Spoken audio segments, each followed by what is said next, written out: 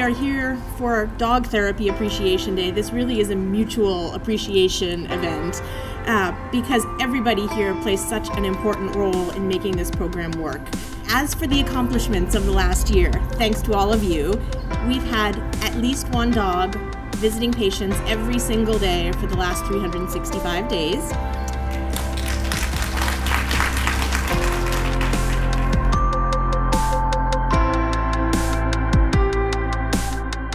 I am here to just have a doggone good time.